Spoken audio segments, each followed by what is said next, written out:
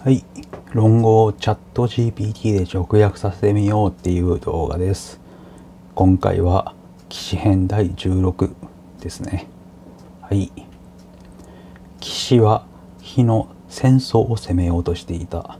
善友と城が孔子のところには訪れ、善友が言った。騎士が戦争に対して行動を起こすつもりです。孔子は言った。求めます。それはあなたたちの間違いではないでしょうか。戦争は古代の戦王が東方の名手として位置づけた土地であり、しかも国の領域内にあります。それは社食に放出する進化です。どうして攻めるのですか？善友は言った。風刺がそう望むので、私たち二人の進化はどちらも望んではいません。孔子は言った。求めます。衆の人友という言葉があります。力を尽くして列につき、できないものは止める、やめる。えー、危険な状況へ助けず、危機に直面しても支えずにいると、どうしてその人を頼りにできましょうかそれにあなたの言葉は、言葉は誤りです。虎や死が檻から逃げ出し、木や玉が箱の中で壊れてしまうのは誰の過ちでしょうか？善友は言った。現在戦争は頑固であり、火に近い位置にあります。もし今取らなければ、後世の人々が子孫のために心配することになるでしょう。孔子は言った。求めます。君子は言葉だけで欲しいと言い、それを実行することはありません。私は聞いたことがあります。国や家族を持つ者は少なさを心配するのではなく不均等さを心配するのです。貧困を心配するのではなく不安定さを心配するのです。なぜなぜなら均等さがあれば貧困はなく調和があれば不足はなく安定があれば崩壊はありません。それゆえ外国人が服従しないのであれば文徳を治めて彼らを引き寄せるのです。一度来れば彼らを安定させるのです。しかし現在のあなたたちは興味を持っても来ることができず国家は崩壊し分裂し内部で戦乱の計画を立てています。私は恐れます。既存の心配は戦争にあるのではなく宮殿の壁の内部にあるのではないかと。孔子は言いました。天下に道があれば霊学と征伐は天使から発せられます。天下に道がなければ霊学と征伐は諸行から発せられます。諸行から発せられる場合稀に十世で失われることがありません。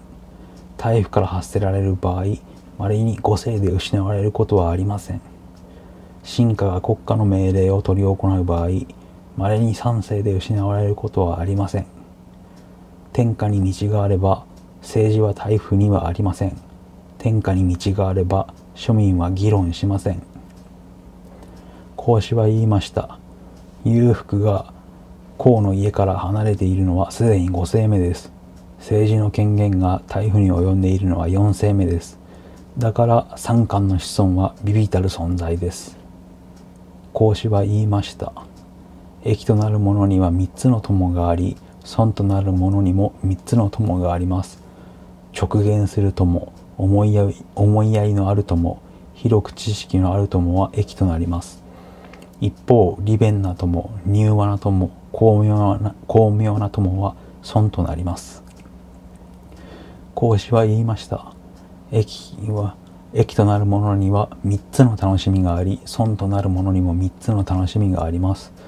節度ある霊学による楽しみ人々の善行による楽しみ優れた友人との交流による楽しみは益となります一方傲慢な楽しみ浪費的な遊びの楽しみ快楽主義的な宴会の楽しみは損となります孔子は言いました君子に仕える上で3つの過ちがあります言及する前に言葉を発しそれをそうと言います言及すべき時に言葉を発さずそれを陰と呼びます相手の表情を見ずに話をすること、ことを、こと呼びます。孔子は言いました。君子には3つの戒めがあります。若き時には血気が安定せず、戒めは外見にあります。青年となり、血気が盛んになると、戒めは争いにあります。老いた時には血気が衰え、戒めは得ることにあります。孔子は言いました。君子には3つの恐れがあります。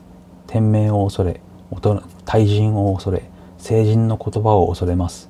精進は天命を知らず恐れず、対人に近づいて侮辱し、成人の言葉を軽視します。孔子は言いました。生まれてから知るものが最上であり、学んでから知るものが次であり、困難に直面して学ぶものがそれに続きます。しかし困難に直面しても学ばずにいる者は民としては下となるでしょう。孔子は言いました。君子には9つの思いがあります。目で見るときは明晰に思い、耳で聞くときは聡明に思い、表情に思い、表情に思いは大政を持ち、態度に思いは謙虚さを持ち、言葉に思いは忠実さを持ち、行動に思いは敬意を持ち、疑問を生じた時は問いを思い、怒りが湧いた時は冷静に思い、他者の行動や結果を見るときは道徳に思いを寄せます。孔子は言いました。善行を見るとまだ追いつかないように感じ、悪行を見るとまるで沸騰した湯を探るようにする。その人を見たことがありますし、その言葉も聞きました。彼は隠居して志をなし、義を行って道を達成している。その言葉は聞いたことがありますが、その人自体はまだ見たことがありません。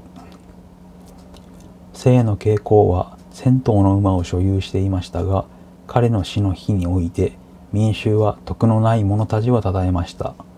一方、白衣と粛清は主要のもとで餓死しましたが、今日まで民衆は彼らを称えています。これこそはが何を意味するのでしょうか。陳公が白魚に尋ねました。あなたも言い分を耳にしましたか？白魚は答えました。いいえ、まだです。ある時私は一人で立っていました。すると、李が庭を駆け足で通り過ぎました。私は尋ねました。詩を学んでいますか？彼は答えました。まだです。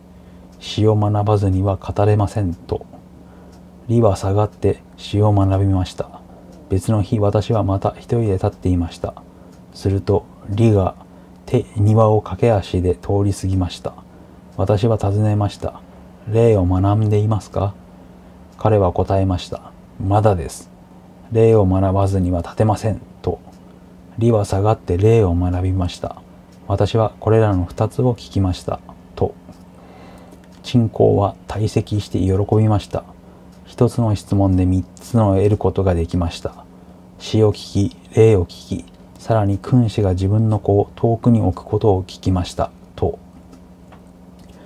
国の君の妻に対して、君は彼女を夫人と呼びますが、彼女自身は衝動と呼びます。国の人々は彼女を君夫人と呼び、他の異国の人々は歌唱君と呼びます。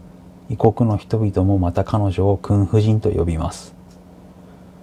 騎士第16は以上です。